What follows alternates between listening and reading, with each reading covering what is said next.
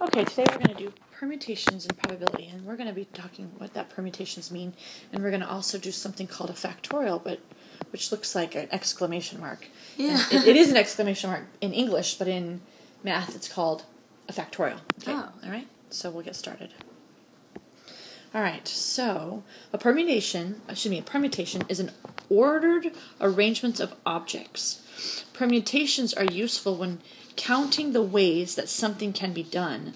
Often a permutation uses all the available options. And let's do an example. So we have six books laying on a table. How many different ways can the books be arranged on the shelf? And so sometimes it's easier.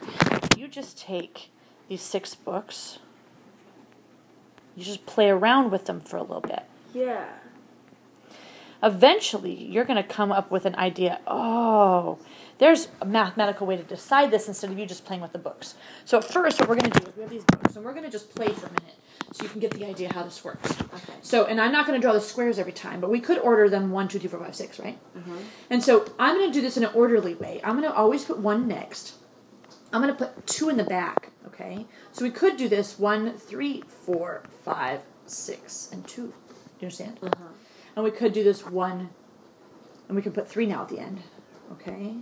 So we can do one, four, five, six, two, three, okay? Oh wow, there's a bunch of ways to There's do There's going to be a bunch of ways to do this. And I can do um, one with the, um, I can put the four now at the end, and I can do five, six, two, three, four. You with me so far? Yeah. And then we can put the five at the end, and we'll have one, six, two, three, four, five. And then we can put, we can't put the six at the end because then we'll have the same thing we have here, right? Right. We can keep doing this and playing around. with- This is permutations. This is the way that something can be arranged. The different ways that can be arranged. Okay, and so um, there are six choices for the first book. So I've only done, and this isn't all the combinations because we could have moved these things around and did them in different orders, right? Yeah. But there are six, uh, there, and so I have um, the number one in front. Then I could then I have to do all of them for the number two in front. Then all of them for the number three in front. All of them from the four, five, six, seven. So I can have. There are six choices for the first book on the shelf. Okay, and so then there are five choices for the second book. Four choices for the third book, and so on. Do you understand why there's only five choices for the next one? I think. So if I have a one in front, there's only five more numbers left to Okay. arrange for the next for the second book, right? Does that make sense? Uh-huh. And a- and after I put just like after I put the three here, there's only four more numbers to choose from. And after I put the four there, there was only three. So does that make sense? So there's only one. ch- Once I pick the number in f- the, for the first position, there's only five numbers to choose from for the second Okay. position, and then there's only four numbers to choose for the second position, and so on. Does that make sense? yes. Okay. So altogether, they've decided to do it mathematically instead of us figuring all this out. There are the first number only has six numbers, six possibilities. Once I put those in there, there's going to be five possibilities, then four, then three, then two, then one, and I multiply those together. That's 720 when we put it in our calculator, okay? And so we're going to now get into the word factorial. That's when I take what we did right here was 6 factorial. That means we took 6 times 5, 4, 3, 2, 1. Ah. For example, 7 factorial will mean 7 times 6 times 5 times 4 times 3 times 2. You really don't have to multiply by the 1 because 1 times anything is itself, but then that's that is 7 factorial, okay? And this comes out when we're doing permutations. Oh. Okay. Okay. And so, um, this also here will it says sometimes a permutation uses only some of the available objects. So let's look at the next example.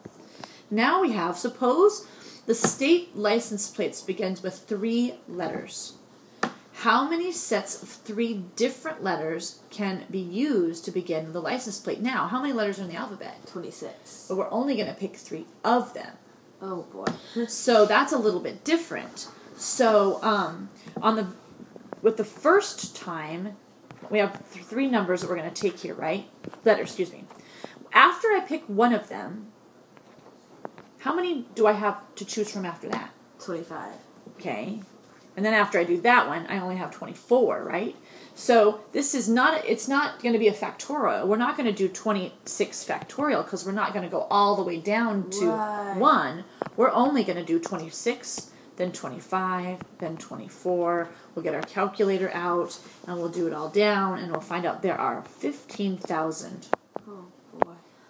Six hundred. 600 different options for us for license plates Wow. if I use just three of them. Could you imagine what would happen if I decided to use four? if I did one more, I'd have Oh. then then I take that number times 23. Wow, that Yeah. would be huge. And so this this comes into play. I I've often sit and wondered our phone numbers Yes. I've with wondered that many phone with that many options of numbers we've got and then they have the area codes and they have it and then they have to put a one in front and all that different Yeah. things the different possibility of phone numbers and with me and they actually i think if i understood right they started to run out with the number of people having multiple phones could you have a cell phone and a home phone and Yeah. and now multiple people in your home is not when i was a kid only you had a home phone at your house every house had a phone well now every person in the house has a phone so it's a totally different story Yeah. so um, let's do this next one. The national flag of Ireland has three equal vertical stripes green, white, and orange. We're going to just do this green, white, and orange, just for my own visualization here. Okay? The national flag of France, oh, this was Ireland, by the way. Okay?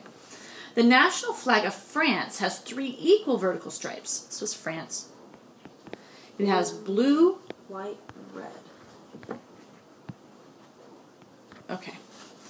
How many different flags of equal vertical stripes could be made from the colors of these two flags? So we would do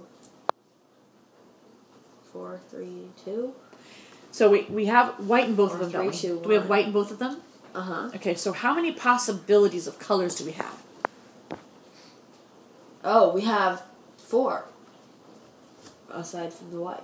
Okay, and but white will only count once, so we really have five, right? Because we Oh, can have a we can have a flag with green, white, green, white, orange, blue, and red, right? Okay, Then yeah. how many stripes did they say that we wanted? How many different flags Of equal vertical stripes. Are they only going to have three of them? Apparently, they're only having three stripes, just like these. So we have, just like we did back here, we're going to have, there were 26 letters to choose from, but we're only going to pick three of them. Here we have five colors to choose from, but we're only picking three of them. Okay. So how, what are we going to multiply here? We're gonna multiply like five, four, three. Yes. That'll be 12. Excuse me, that'll be 20 times 3. is 60. Yes, so there'll be 60 different flags that we could do. Okay. Okay, and you'll probably want to say 60 flags. So we'll know. Okay. Okay. Does that make sense? Yes. Okay. So the math part of this is is not the difficult Yeah. part. It's what we're trying to figure out what we're supposed to math multiply together. Right. So here is our next problem. If six books each have a different author, what is the probability they could be arranged in alphabetical order if no attention is paid to the author's name? Okay, so what it means by here we ha- the question was um, what is the probability they will be arranged in alphabetical order if no attention is paid to the author's name? That means you um, put him in a box. We're not going to look at the author's name. We're just going to pick him out of a box, and what's the probability we can get them in alphabetical order? So when we pick the first book, That's one of the. we have one out of six probability that it will be the first one in in. All right. Right. Then we'll have five, Five left, left, in there, so so, we'll have of one five. fifth, and then we'll have one fourth. Now the way to write this quickly would be one over six factorial. Oh, Makes sense? right. Yeah. So which is the same as one over six times five times four times three times two times one, and we get our calculator out if we wanted to. That would be thirty, and that's so six equals 720. yeah, we we did this before, didn't we? Yeah. One over. It's only a 170, 120. That's not a very good chance that we could get them in No, order by just randomly picking them out. Okay. No. Which is only if we did that on our calculator 14%. percent. That's after we move the decimal over because look at that. Yeah. That's terrible. Bad. Okay. So, um, your numbers one, two, and three, it have stars next to them, but we're going to do them anyway because these are hard. Okay. It just we just have to think about how they're done. And um, apparently, when they say something like "no attention is paid to," that means you're going to pull them out of a box and not look at them. You're going to like close your eyes and not pay attention to their names. Okay. Okay. All right. I think we're done. Yeah.